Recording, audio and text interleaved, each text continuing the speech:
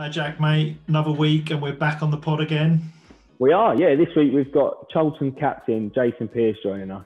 Um, he's been at some big, big clubs during his career. He's been at Leeds, been at Portsmouth, Bournemouth. He started with with Eddie Howe, and I think um, he, he's got a brilliant mindset from what I understand. And I just want to delve into that a little bit more. It's obviously been a tough year for all professional athletes um, around around the world, really, with, with the coronavirus. And the season was was stop start the uh, last season, and and he's Charlton have made a flying start to this season. There's been some turmoil off the pitch, and I just want to understand how how Pearcey essentially has galvanised that dressing room and, and, and got the team going at the start of this season. And obviously, being a Charlton fan, he's been at no bigger club than Charlton. Is that right? There's no bigger club than Charlton, mate. I don't. Yeah, you uh, you know that. Being an Ipswich fan, we're a much bigger club than you. All right, let's do that. Let's get him on. let's do it. Well, thanks for joining us, Jason. Really appreciate it. Um, Jack, being a die-hard Charlton fan, would kill me if I didn't kick off by a start by saying how well Charlton, Charlton are doing at the moment, flying. Yeah, no, it's been it's been a great start. To be fair, obviously I haven't I haven't really been involved because I've been injured, so it's been um, it's been difficult in one sense because I want to be part of it, but then obviously I'm, I'm buzzing for the boys and, and how well we sort of turned it around from the from the start really. So yeah, they're on there. The boys are on a high, and I'm just getting back from injury, so I'm hoping I can help out in the, in the coming weeks. So yeah, it's, it's six league games on the bounce, isn't it? You've won. The the dressing room must be absolutely buzzing yeah, the boys are the boys are buzzing to be fair, and it's like it's it's been weird because we've had so many new faces come in. So to, to get six wins on the bounce is is unusual, really, with so many players. So um, the recruitment side's been really good, um, and bringing the right people in. All the lads seem really good and gelled, gelled quickly, um, and yeah, they're, they're doing well. So it's um, I'm look I'm looking forward to getting back in like full training now, really, and, and getting involved. And is that how it is being injured, but the team are doing so well, you're just itching to get back involved and just help them out. Yeah, when you're injured, it's quite um, quite lonely to be honest. Um, you sort of you do your your um, your rehab work with the physio, and then do a lot of, lot of it on your own. So it's it's quite hard to be honest, like mentally, because you have to watch all the lads training, enjoying it, winning games, and then you're just trying in the background, just trying to get fit and want to be part of it. So from that side, it's quite difficult. But, but obviously, when I'm I, I watched, I've watched every game so far this season, whether that be the stadium or on um, on the computer, um, and, and the lads are doing well. So no, I'm, I'm really pleased for, for the boys, and ultimately, we all want to get promoted. That's that's great. I, I can't believe you're having to suffer with iFollow like we are as well. Howard, Pearcey, obviously you've as you say, you're, you're, you're club captain, so you, you're almost the man that's in, in control of that dressing room. And when, when you've got loads of new lads coming in, how much is it kind of down to you to help bed them in? And obviously, there's been a big, um, big turnover of players this summer. Yeah, nice. Um, it's it's obviously difficult, like um, being injured, but the type of person I am, and obviously being a captain, I try and I try and like make sure people feel welcome when they come in and show them where they need to go, and if they have any struggles, they can talk to me and stuff like that. I said to that um, Ian Maatsen, I didn't really know. He, he, didn't probably didn't know who I am because he's come from yeah. Chelsea, so he probably didn't even know. And I said to him, "Probably don't even." I said, "You don't even know who I am, do you? You think I'm probably the kit man?" and uh, he, he, didn't. Well, he didn't give, give much away. But now I've sort of started training in that. He's he's he seems to be a bit better. But no, it's just it's just a it's weird. Like when when you haven't played sometimes I haven't played against certain players or they're too young to know me because I'm one of the older ones. Like it's just different, different, it's just different. So you sort of have to then. I feel like I have to then go and prove prove myself in training and show like what I'm about. Like you're on trial again. yeah, yeah, it is a bit like that, but that's all good. Brilliant. Crucial question for me because I support one of the teams in the league. But who do you see as your big rivals this season? Uh, well, probably the teams that are up there, really. Like obviously Hull, Hull are up there. Um, it's just Ipswich, um, Portsmouth. Um, yeah, like the, the, the, big teams in the league, and you'll get a few surprises that will probably get get in there. Um, I actually really rated Doncaster when, when they come to, yeah. to the Valley. I thought they were very good. Um, they look a really good football inside, so I think they'll be up there. But there's some good teams and some good players in the league. So it's whoever's obviously consistent uh, throughout the season, which obviously I've been promoted twice from League One, so I know what it takes. So we're in a good position at the moment, but it's a long season. I think you're right. Consistency is the key, and I'm an Ipswich fan, as I alluded to there, and uh, Doncaster played us off the park, but then lost the following week to Crewe. Whereas you guys are just putting a run together, and if you can just build on that momentum going into Christmas, you'll be there or thereabouts at the end of the season. Yeah, I think yeah, it's like like I say, it's, it's about consistency. I also think a big thing this year will be the size of the squad as well, because um, mm. there's everyone's going to get injuries, um, so it's how you use your squad now. And, and obviously Lee Bowyer um, likes to rotate his squads on Saturday, Tuesday games, which is which is great, and he's got he has got strength in depth now. So yeah, like the, the boys are bedding in well, and if he can use that rotation and um, bring players in and they do well for him, then it bodes well. So yeah, hopefully it will continue. You, you touched on Lee there, and and it's it's well well known that off the field at Charlton over the last few years, there's been there's been some difficult times with ownership, but Lee Bowyer seems to be that consistent over the last two three years now. How important is he to the success that, that Charlton have seen over over that, that period of time? I know we've had a relegation last season, but we're we we're bouncing back straight away, and there seems to be a lot of character in that dressing room. Yeah, it's been it's been weird. Obviously, I've been here five six years now as well, so I've sort of seen seen how it's gone and obviously since when since Bo come in, like he's just rejuvenated the club and someone coming in with someone that's been at the club, knows what the club expects, the fans expect, um, and he's got that real togetherness now at the club. Um, the players all work hard for him. That's, he expects 100% every game, and players working hard for each other. And and if he, if you don't get that, you don't play. Um, and people know that as soon as they come in the door. So that's that's a good sign. Um, and yeah, like I just think it's brought everyone together really. And and even even when we got relegated last year, I think the fans could see them last final like nine games. We, we the boys give everything uh, to try and stay up, and unfortunately, with what went on with Lyle leaving, probably like Chris Solly not be, not playing, and it was it was difficult in the end. But the boys give everything, and I think that's what the fans appreciate that. And you touched on it there, and, and I was gonna I was gonna ask this question, and it's, it's a probably difficult question as a teammate to answer. But how did the dressing room react when Lyle sort of come in and said, "Look, sorry lads, but uh, uh, there's a big move potentially on the table for me here, and I'm not going to be involved." How did it, you're all obviously mates? How, how did it how did it go down in the dressing room? It's just it's just a difficult situation for him and and and, and obviously us as players because we we want to stay up in the league. It's, it's our careers as well. Yeah, of uh, course. But so with, with Lyle in your team, you, you're going to win more games with, with him in your team. And uh, when he said he's not going to play, it's difficult to take as a teammate. But on the other hand, you, you realise why he's doing that because he's got obviously a bit a big move on the cards, and anyone in, in any walk of life in any job would, would if you can quadruple plus your money, you, you, you got to go for that, and you can't risk getting injured. So I totally, I do understand where he's coming from, but it's just, it was just hard, obviously, because we could have done with him. Yeah, absolutely. It was one point in the end, wasn't it? And that probably at one point would have been picked up if Lyle did play. Yeah, I think so. Yeah. How how was your role as captain? You said that you understood his situation. I bet not everyone in the dressing room understood his situation and just wanted him to to put his boots on for the team. Did you did you have to step in as captain and just try and keep the peace a little bit? Well, no, I think it, was once once the decision had been made. I think Lee Bowyer sort of made it clear he wanted to he wanted to know early early what what he had to play with, if you like. Um, so that's why I think he made the decision to, to find out whether the lads were either with with him or they weren't, and, and obviously the ones that weren't then then got pushed to the side, and, and he and he worked with the players that wanted to play and, and do the best for the club. Um, so yeah, it's just it's just for, from my point of view, obviously an experienced one. It was just it was what it, it is what it is, um, and sort of said, yeah, this is what we've got, boys. Let's just do the best we can, and and we still felt we, we had a good chance in staying up, and we, we give a good account of ourselves towards towards the end, but it just wasn't wasn't quite enough. Yeah, I think it was, it was really tough on it. I think like you, you look at as you say such fine margins in, in professional sport, and and that really was the epitome of that. It's I mean, the amount of chances we had and just didn't quite take them, and, and a few sort of deflected goals towards the end of the season. It was a must have been really tough for the team to take, but um, as I say, you seem to be bouncing back this season, and I think that's the strength of character in both probably yourself as a captain and and Lee Bowyer as a manager. Yeah, yeah, no, it was it was uh, it was a tough night that one at Leeds.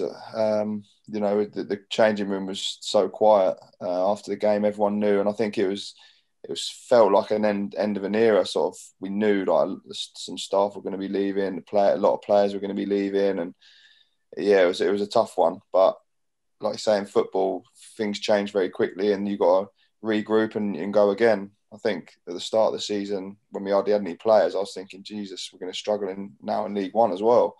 And, and unfortunately, obviously, um, the new owner come in and and, and has, has put obviously spent a bit of money or got some players in, and, and we've assembled quite a good squad now. So um, yeah, I'm hopeful we'll be we'll be up there this season.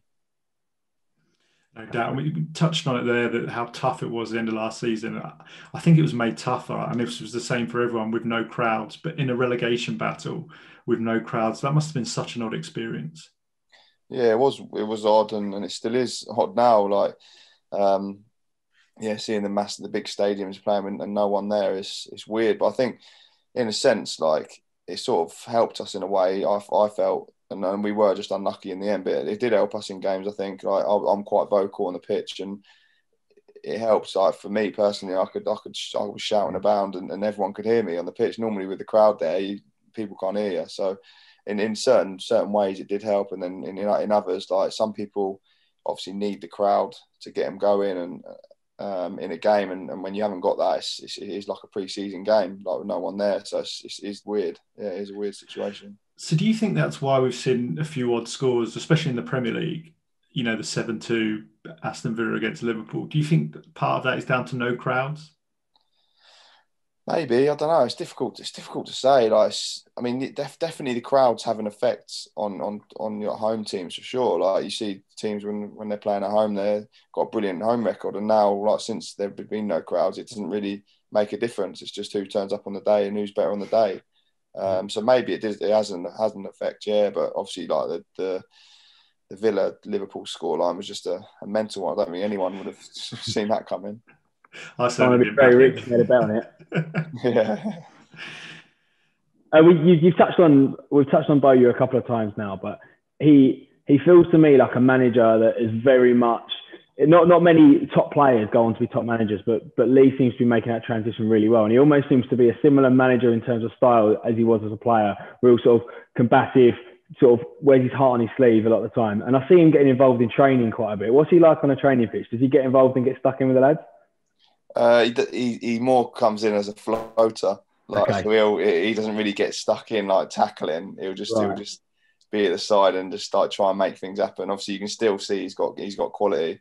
Um, but normally as a floater, you can't normally score. So he's normally trying to set things up and nice. telling people where he wants them and stuff. But no, he's, he's you're right. Like he's he does like where, like, like he, he played. I watched him as, as, as a player, and yeah, if he he's no nonsense. If you know what I mean, like the way he speaks to people, very old like old school, and like you've got to be able to deal with that. And people, I think a lot of the young lads coming into the dressing room, um, it's been interesting and different, probably style to what what they've been used to, but it certainly makes you grow up quickly. Um, and you have to you have to deal with that uh, and move forward. Like, like fortunately for me, I've I've been in an era where that was sort of the norm when I was younger, so I'm sort of used to it with with Bowyer. But no, he has he has been good. He's been good with the lads, and, and obviously he's getting he's getting results and, and performances. So it's a good thing. Absolutely. Doing well. And we had Johnny Jackson on uh, the podcast last series, and we were talking to him about the transition from player to coach. How's that been from your perspective? Was it strange having him being one of the boys and then telling you what to do in training? Was you the one that kicked him out of the WhatsApp group as well? He told us about that. no, it wasn't me to be fair. Um, it's, it's, it's, um, it's always a weird transition, I think. And obviously, I'm, I'm getting older now and I'm starting to think about coaching and stuff. So I know that's that's coming. But no, I think you have to you're part of the lads one minute, and then he was like he was, he was close with the lads. He is one of the lads. He, he, he liked having a laugh, um, but then obviously, yeah, he had to sort of step aside and and be a bit maybe a bit more professional. Well, he was professional, but like if you know what I mean, you take you're on the other side and you have to step away a little bit. And but he's he's taken to it really well, and and he, he's a very good coach in his own right, um, and and he works well with Bo. So yeah, no, I'm, I'm pleased how, how, well he's doing as well. He's, he's a good lad, um, good friend. Did he brought his guitar down to the training ground? Did he what? Sorry. Did he brought his guitar down to the training ground? All them. No, he, has, no, he hasn't. To be fair, but I'll give him his due. He has got a decent voice. To be fair, hasn't he? It'd be a bit David Brent though if he pulled out the guitar at the, the training ground. oh, that would be bad. Um, yeah, so that's that's that's odd for for Johnny and you the transition. But we mentioned earlier you being a leader on the pitch and you're quite vocal. Uh, how does the role of captain play out off the pitch, and how's that changed? Because you've been captain of pretty much every team you've played for in your professional yeah. career. How's the role of the captain changed over the years, and and then also touch on the your role off the pitch as well as on it? For me, it hasn't hasn't really changed to be honest. I've I've always been since I was young. I mean, Eddie Eddie Howe, I think, gave me my first opportunity as captain, and I've never really changed. I've always been someone that's I've just I've been the same sort of person. I always try and get on with everyone, help people, and obviously if people need to be told, then they get told, like get a rollicking or whatever. But I've always I always wear my heart on my sleeve and give give my all and, and, and try and lead by example, and that's that's what I've always been like as a as a player and, and as a captain. Um, in terms of my role off the pitch, I just try and make sure everyone's all right. And I think probably in recent years, probably more, and as, as I've got older, I sort of tend to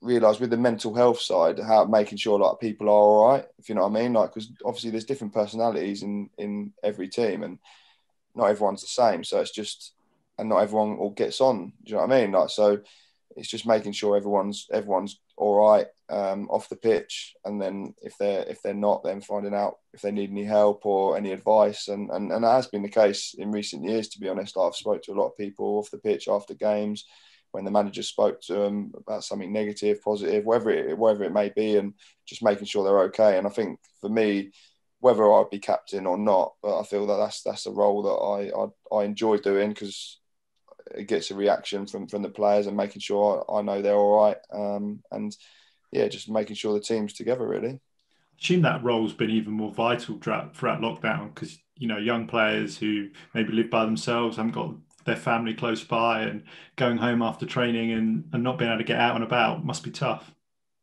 Yeah, I mean, yeah, for sure. Like I'm, I'm, I'm lucky well, I say lucky. I'm, I'm my hands full with with three kids and misses. No, but it's it's like I'm lucky in that sense. I think like being able to, especially in lockdown, to be able to spend time with your family has been been great. But yeah, on the other hand, there's there's other players that mentally must be tough. Like they're not being able to see their families. They're in a flat on their own, probably just playing FIFA or Call of Duty, whatever they play. And yeah, it's, it's difficult. So yeah, it's just making sure that they're they're okay and they're they're, they're dealing with it all right. We, we luckily we like they give us plans like the the fitness coach will give us plans that we work through and fit to do fitness runs and weights and stuff like that. So keep us keep us going. But yeah, it can can be difficult. Alone, like I said, a lonely place sometimes. Definitely. And what's your what's your fining system? Have you got a crazy fining system to make sure that the Christmas party that isn't going to happen this year is goes yeah. off well?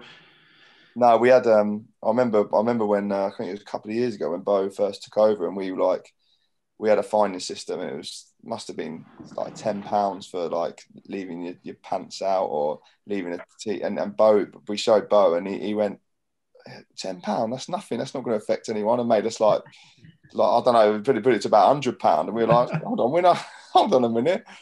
yeah, no, can't, can't do that. Yeah, I was going to say. We have, no, we have no money left. So no, I think we come to a compromise, and he, he, he takes a well, Bo and the staff take a few fines for like if, if lads are late for um, team meetings and stuff to do with the team, team bus and things like that, and then all the little little bits around the training ground. Um, the lads the lads sort of take and like you said, try and create a pot for the Christmas do really. So do you have to collect that? Is that your yeah. role? Is that yeah. hassle? To be fair, like I've I haven't in, in the past. This is I haven't been doing it. Normally, it was I, I I'll give it to a couple of the other lads. Delegated, like, good yeah, leader. Delegate, yeah. like we, we do. Um, I don't know if you've heard about it. Like we do a thing called um, you can go to kangaroo court. I don't know if you've heard about it. Basically, yeah. if, you, if you give a if if someone gets fined um, and they don't agree with it, they can go to a thing called kangaroo court. So we'll get like all the all the lads in the changing room. Brilliant. And then they can debate the the fine. So we'll have like, oh, it'll be like me, we've been Chris Solly, Jake Forster and a couple of the others, like as, as the as the people basically decide. And if they if if we decide they're right, then they, they get it off. If if they if they're wrong, they, they it gets doubled. So Love it. And then norm, normally when they go kangaroo court, the lads are buzzing like because we get get them in the changing room and they're plead their case. I yeah. love that. That's good. It's, it's nice when it's, it's good banter when uh, when it goes to kangaroo court. Who's the biggest joker in the dressing room these days, in, in, in the Charlton dressing room? Uh, don't know. I'll say I'm up there to be fair, but uh, Johnny, Johnny's Johnny Williams. Yeah. We, well, when when um when Mad- Marcus Maddison come in, um, you see, he's a different type of character. Like yeah. I got I got told, and I, I never judge. I never sort of try to judge people until I meet him face to face. But he um on his on his Instagram, he had like a picture up and uh, and of, of, him like in his hotel room, and he dressed up, and then he put the camera on himself, turned it round, and like done a little smile at it. So like to bed it to bed him in, we've got like TVs around the training ground, so like it basically tells you what we're doing for the day, like the schedule. And um, and I asked I asked the people that do it, I said, can you put this Instagram post up so if, whenever someone comes in, when everyone comes in, they literally see that. And he went, who, who done that? Who done that? I said, it's unbelievable, man. And then no, I told him it was me. I just said it was a bit of friendly banter, and he's, he's been cool and he, has been he's been fine ever since. Like just to try and bed him in. It's, it's always hard when you join a new club, like to and little things like that for me, like just help bed him in and and uh, make him feel welcome. I know it's a bit of it's only friendly banter. It's not nothing nothing bad, but yeah, that was quite funny. I love that. That's brilliant. Have you done his initiation song yet?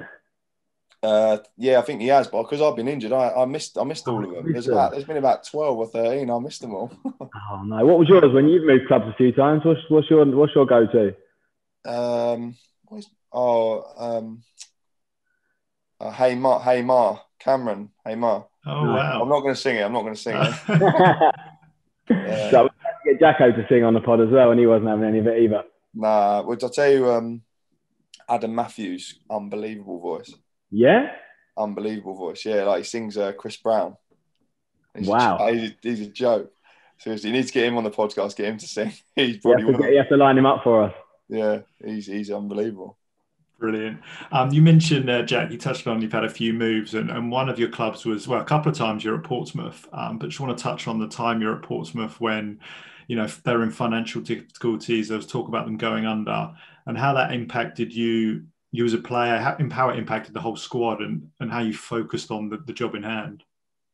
Yeah, the time. I mean, I've been in administration three times in my career, um, but but fortunately for me, I didn't really. I was a young lad, so I was sort of living at home and didn't really have any outgoings and, and real pressures really. So it didn't really affect me in the sense. In a sense, if you know what I mean. Obviously, it affects you because you're not getting mm. paid fully, but um, so for me, like when it, when it, when I was back at Portsmouth, it was yeah, it was it was difficult time for the squad because you had a lot of senior players on a lot of money there at the time, yeah. um, and, and and and a couple of them didn't want to take any cuts, and and or, or at the time, yeah, we took cuts. Even like me and I remember Joel Ward, um, who's at Palace now, and we we as young lads, they were so like they wanted us to take a cut, and we were on nowhere near like well nothing nothing compared to any of the lads, and we were like, yeah, that's fine if it helps keep the club afloat.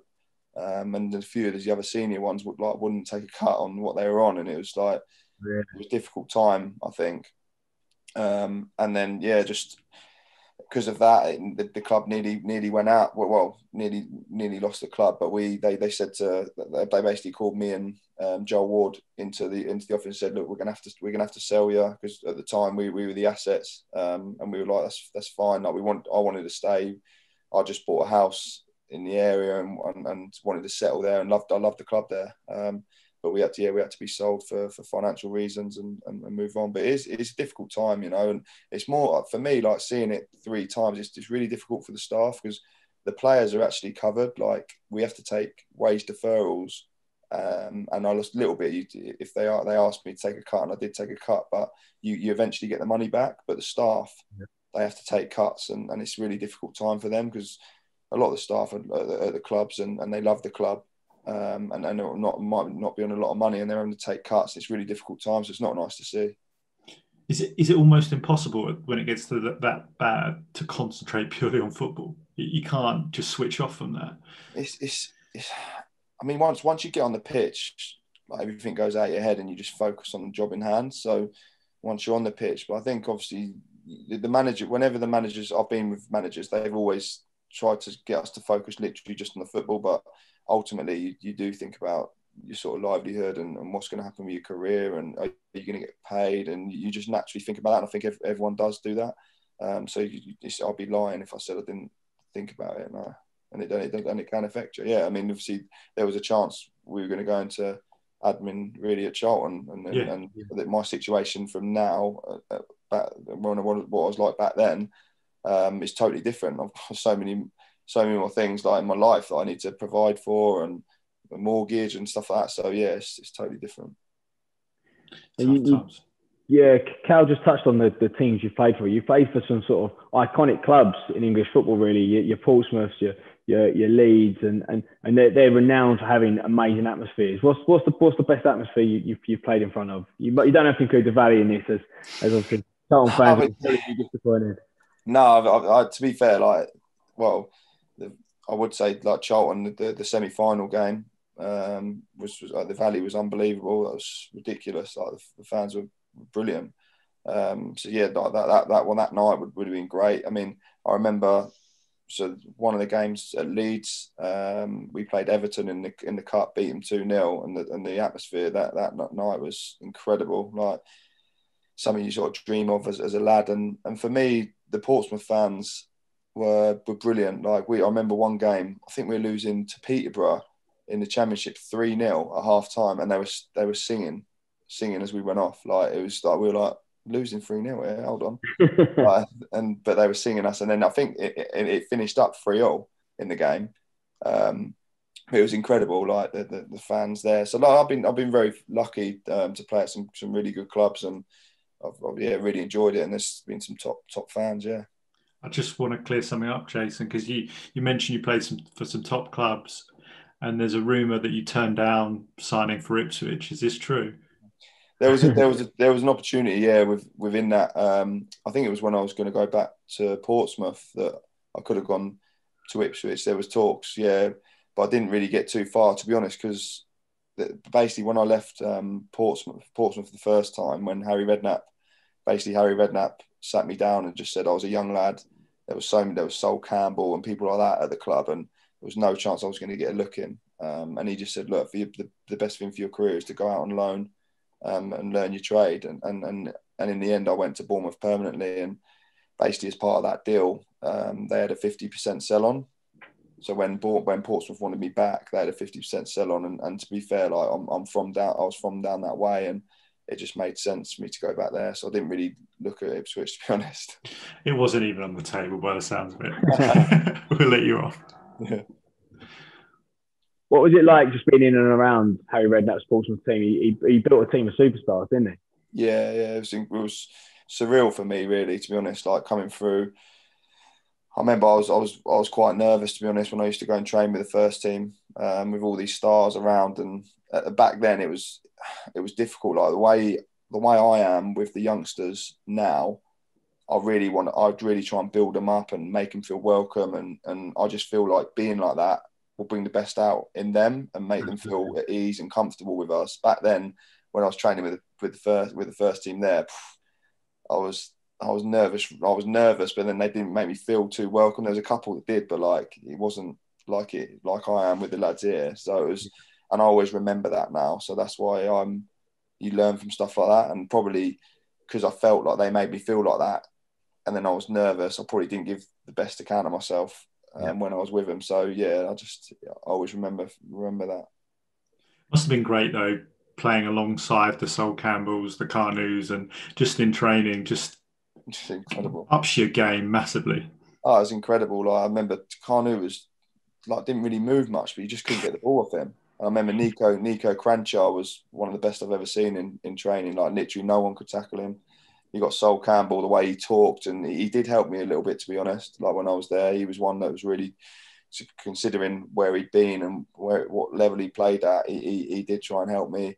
Uh, Linvoy Primus, there was some massive people. Even Tony Adams coming as a coach, done a lot of work with with Tony Adams, and yeah, some some great characters there and, and good professionals. And yeah, I learned a lot from them, um, whether that was negative or positive, to be honest. Sounds like you've you've drawn a lot in your career, and and you are the player you are now, the captain you are now, from from good and positive experiences that you've had throughout your career, which which sounds amazing. Yeah, like I'd, I mean, I'm, I'm, listening to a few of those high performance podcasts at the moment, and mm. they always mention about the mistakes, and uh, uh, uh, it's massive in, in in learning for anyone. And for me, yeah, like mistakes and and negative behaviors, and you just learn from that and, and learn what you what you what you would take what you what you want really from the situation. So a lot a lot of things that have been negative um, that have happened in my career or mistakes you've made, you, you learn from, and, and that's what I'd say like to any young player or anyone coming through, like just just it's good to make mistakes. It's good to learn from, from negative behaviours and take it all on board and just try and learn from it. How so, much do you? You're clearly a top player. Otherwise, you wouldn't have played at the level you've played at without some natural ability and all the hard work you've put into your the football side of your game. But how much do you put down to your your sort of essentially how you are as a human being and your character and your mentality? How much how much emphasis do you put on that that you think you've that's made you be the captain you are and also for you to be, to stay at the very top essentially? Probably, I've no, I haven't been, I haven't played at the top, but but I think, you know, top top level football, still top level. Yeah, football. I think my mentality and, and my professionalism for me has got me a long way. Like I'd, I'd probably say I am probably one of the best professionals. Like I'm, just, from my own point of view, that's that's what I, I try and work on, like to be to be the best I can. And then uh, ability wise, yeah, obviously I, I would add some some ability to being a defender, but I would say more like my professionalism, my mentality, um, has got me to where I am today. If, if I'm honest, I, I do believe that. Excellent. And, and, earlier on, you touched on you're thinking about coaching and stuff. I, I'm not writing off the next few years of your career, but is that the plan to go into coaching? Yeah, yeah, for sure. Yeah, I, I really enjoy. Like I've, I've, I've done quite a bit of coaching at Charlton now with the sort of under 15s and 16s, and I've done a little bit with the under 18s, um, and I, I, really enjoy it. Like I, I really feel like I've got something to give back um, to the young ones coming through um, and I enjoy trying to help them and, and, and, make them better players. So I'm just I'm currently just finishing. Obviously, it's been slowed down the process just because of COVID, but I'm I'm hoping to finish my A license this year, um, and then and then yeah, just obviously I've started my own academy, um, which has been. A, a, a good start, um, but something I want to keep on improving. And yeah, this yeah, that's that's definitely something I want to do. But ultimately, I want to finish finish my career on a high and still feel I've got a few years left in me yet. Decent. And, I was reading up on your academy earlier. It sounds like it's very much how you've spoken through throughout this podcast. That speaking about the mental side of sport, not just turning up and playing football on a Monday night or whatever night they train, and just really thinking about their careers as well. Yeah, no. So it's been a major thing to be honest, and I've tried to explain that to, to a lot of the parents I've spoken to. Like I don't. There's there's been some academies out there that their main focus is to, to get them into clubs, or they'll tell them they'll get them into football clubs. And for me, it's not about that. Like my my experience, what I've told them is when I was younger, I, I come into I went into an academy, and I really didn't enjoy it.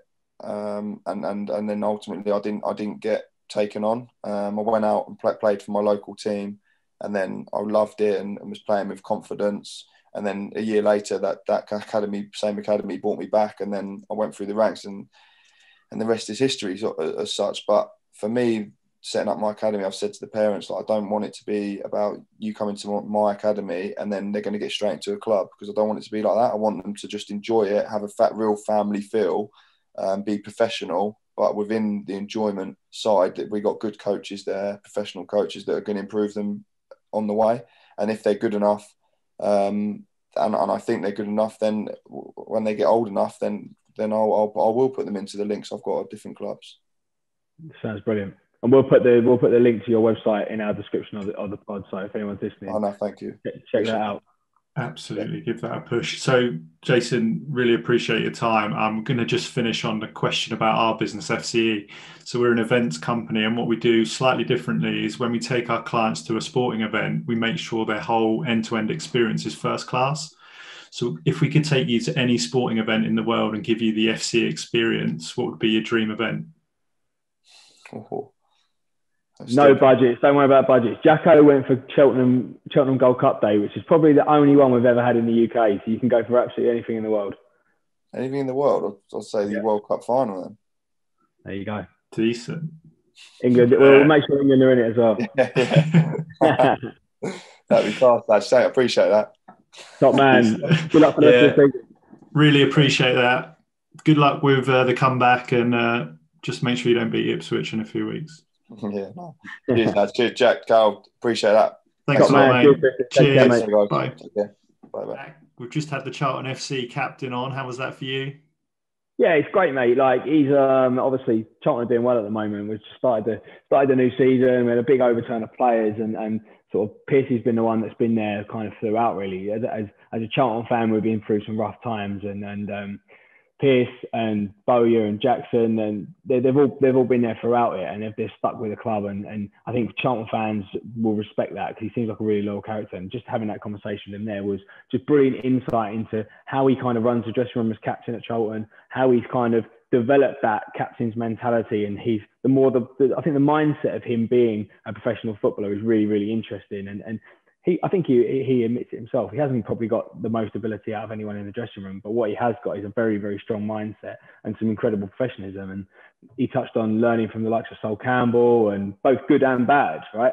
Um, and I just think it's a re- really interesting conversation as to someone that has played a very, very good level of football, but has just learned a lot the whole, uh, all the way along, and he now wants to give back as well. Yeah, because those lessons he's learned throughout his career, he's now bringing into his academy. So hopefully, the future kids of our generation will, will benefit from that. Absolutely, yeah, that's it. I mean, I, I, love that when you get we get sportsmen on this pod and they they talk about their career, but they they don't just when they get to the end just just call it a day with their sport. They all seem to be so invested in their sport, and and that's brilliant. They're the types of people we like talking to. Definitely, I, I really enjoyed the bit where he spoke about being at Portsmouth and he didn't get that arm around him from the senior players when he was yeah. a youngster. I think that's really really enlightening about how things have changed in a football dressing room over the years. Absolutely. I think if you'd have asked, if we had someone on this pod 10 years ago, well, there probably wasn't podcasts around then, but if, if hypothetically there was, I don't think you'd have had a football captain talking about the mental health side of the game. And and we've got, he, he touched on a, a, player called Ian Maatsen that's coming from Chelsea this year, 18 year old. And we played, Charlton played the other night and he got kicked up in the air because he was probably the best player on the pitch by a million miles. But I, I can imagine he gets back in that change room and Pearcey puts an arm around him and makes sure he's all right. And, and, then, and that's something that probably just wouldn't have happened 10 years ago. Yeah, so much to be learned from it. That was great fun. It was, mate. Roll on next week. Can't wait.